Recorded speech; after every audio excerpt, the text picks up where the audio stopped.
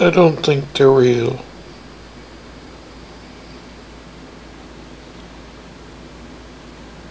That's what I said about my ex-wife's boobs, but they were real.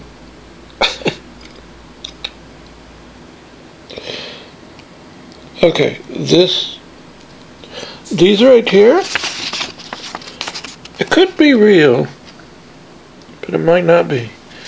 They were sent in the mail to me, and they feel different than a um, one dollar bill that's in my wallet. These feel like the material that you. Man, that looks cool right there. You see that? Wow. Look at that. See if these do that. Whoa. Let's try this one. Whoa.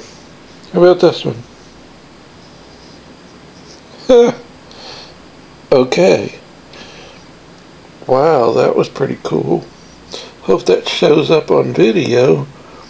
It's showing up in my little viewfinder right here. Uh, these feel like the kind of material that uh, they print magazines out of. Um, they just don't feel like real ones. Maybe they're real.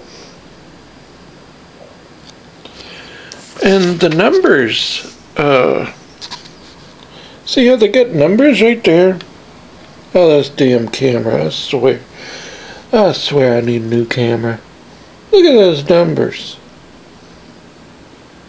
Well, this damn camera, what can I say?